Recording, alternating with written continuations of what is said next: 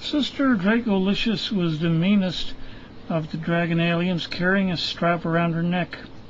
Besides giving her four or five convert humans the powers, they also found uh, some them, like Frederica Gerdes, was breathing fire. Old mean Silas Gerdes had the snout of a dragon, and the gifted scientist had to deal with a much more reptilian countenance.